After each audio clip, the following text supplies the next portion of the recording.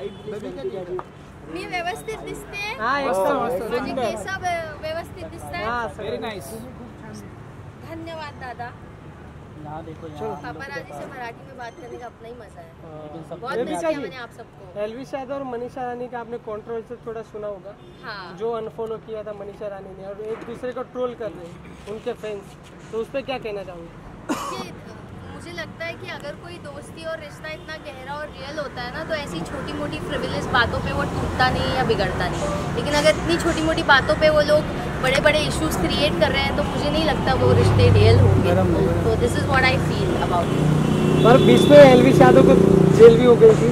हाँ, उस पर क्या कहना चाहोगे? उनके माँ बाप भी बहुत थोड़े बहुत अपसेट थे मुझसे देखा नहीं गया। And the moment I saw them crying immediately मैंने उनके पेरेंट्स को रीच आउट करने की कोशिश की एंड आई जस्ट बिलीव कि अभी ऐसा वक्त उसकी लाइफ में ना आए and things get better in his life और ऐसा फेस किसी की भी लाइफ में ना आए एंड वो अपनी लाइफ के पीक टाइम पे है अभी।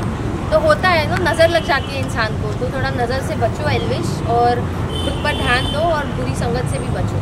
और मनीषा रानी भी झलक दिखलाई था जीत के क्या कहना चाहोगे? Congratulation she always wanted to be a dancer उसको डांसिंग का बड़ा शौक था।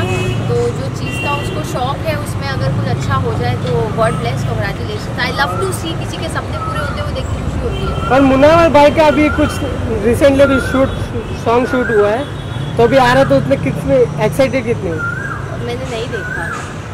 मुनावर मतलब आने वाला है। भी बधाइयाँ हो और वेल विशेष दे सकते हैं हम और क्या कह सकते हैं? ओके थैंक यू चला धन्यवाद। अंग चलता है चला बाय थँक्यू